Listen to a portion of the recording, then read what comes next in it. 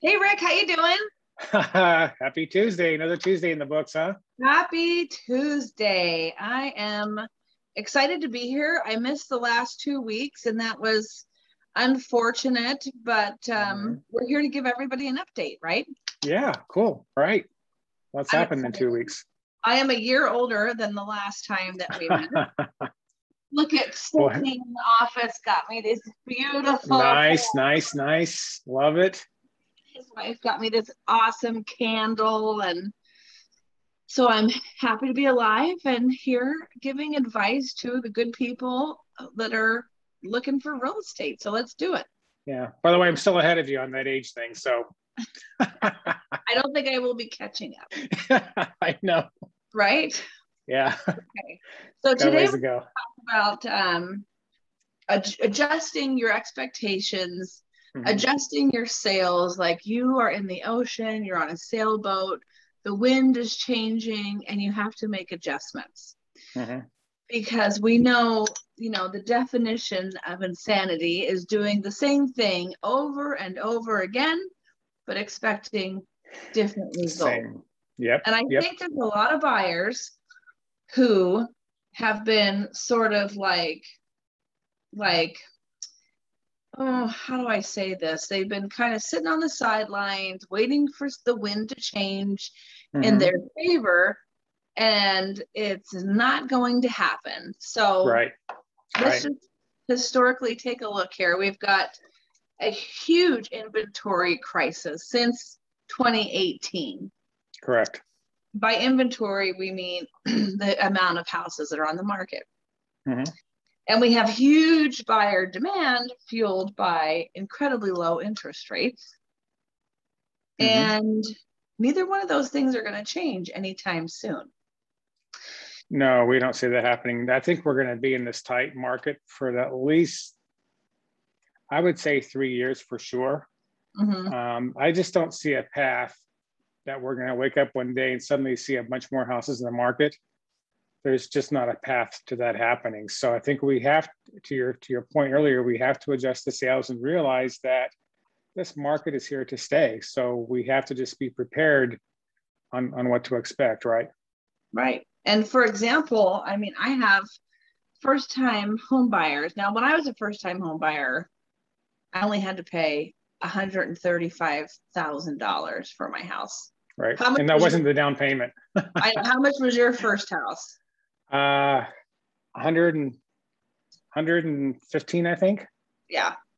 So yeah. I feel bad for these people, but you know, they do make way more money, you know, than I did when I was back then, you know, a, a little baby. So yeah. things change and mm-hmm. prices increase. So for example, in the last year, they have increased at least 10% more and more in most places, gone over 10%. So if you were looking for a $750,000 house last year and you weren't thrilled at what you'd find, well, that house is 825 this year. That's correct. And so you need to make a meeting you know, create a meeting with yourself, your realtor, have a Zoom, have a phone mm-hmm. conference call, mm-hmm. and talk about adjusting your expectations, adjusting right. your sails, mm-hmm. because sitting around and hoping that something is going to come up and hoping that you mm-hmm. will be able to afford it and there won't be 40,000 offers on it mm-hmm. is not going to work because what do we say about right. hope? It's not a strategy. Hope a, is not a strategy. It's not a strategy. And and I think also to that point, Meghan, and I, you know, we talked to a lot of home buyers, and everybody has their idea of what they want to expect. And so, but they've got to be flexible. I, you know, some buyers they're they're they're headstrong on certain things, which I understand. But on some things, you have to be a bit more flexible to get where you want to go. You just can't have everything. I think that more importantly, you want to get in the house that makes the most sense and work from there because there right. is no perfect house. There's That's no perfect situation, right? I know. And now it's like that, like I said, 750 house is going to cost you 825. Mm-hmm. you didn't like it then for 750, you're for sure not going to like it for 825. So you just have to right. adjust your expectations because ultimately right. if you can find a house that you feel safe in, mm-hmm. that isn't going to uh, cripple you financially, mm-hmm. that's going to be a nice place to learn and live and grow and be peaceful. Right. And as if you can afford it, then you will, you know, you will be in there happily through any mm-hmm. sort of financial cycle that comes up. Right. You know, so if you're worried about, oh, things are going to change or prices are going to go down, they're not. And not so a house that's a happy place for you that you can be at. I mean, people right. are living in their houses like so much longer than they used to. When mm-hmm. I first got into real estate, people used to move every five to seven years. Mm-hmm. But now, I don't know, I'm seeing more like 10 to 15. Right. And that's why we see this less inventory now, right? Because people are not moving. They're staying in their house 10, 15 years mm-hmm. compared to years ago is five to seven years, right?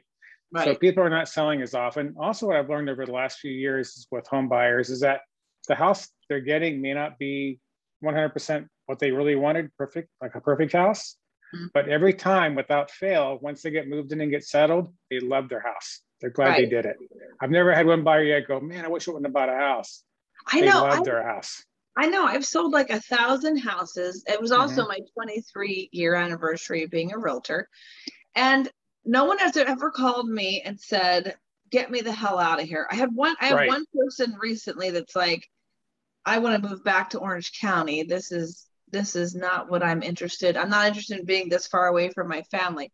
It's like, well, they tried it now we're moving them back. But guess what? That's they right. made a bunch of equity. So, mm-hmm. Mm-hmm. you know, so anyway, so yeah. um, yeah, sure. I think that that's the, I think people, you know, it's the end of summer. Uh, I think we can see pretty clearly what's going to happen for the next at least, you know, one to three years. It's going to keep right. going. So right. adjust your expectations and get yourself in a house so that your money will be appreciating at the rate of the housing market. So when you do sell someday, you'll have, you know, a great return on your investment right. and you live there. So yeah, no, that that, that the, right, the right advice is to get in now. Don't wait. I mean, you know, time is not a home buyer's friend right now, in my opinion. It's not not their friend. Time is not on their side. Right. And you know, the market typically, I think we're going to see it kind of move back into um, the the market that we're used to, the seasonal market that we're used to. Mm-hmm. So now we're going to mm-hmm. move into fall. So I think it'll be a little bit less pressure to, um, you know, maybe there'll be five offers instead of 25 offers. But right. unless unless the property's like looks like it just walked off of an HGTV set and everybody goes, oh, and they pay a lot of money for, for it. Sure. But um, for sure. Okay, well, that's a good message for today. I appreciate your time. I like your shirt. Yeah, you too. I know. And I changed it up today. Huh? What do you think? I know. I know. Uh, All right. We should. Uh, Maroon, maroon yeah. looks great on you, or plum, whatever it is. I think it's like I don't know, maroon or plum or something like that. Yeah. All right. I'll see you next week. Awesome. Thanks, Meghan. See you later. Bye bye.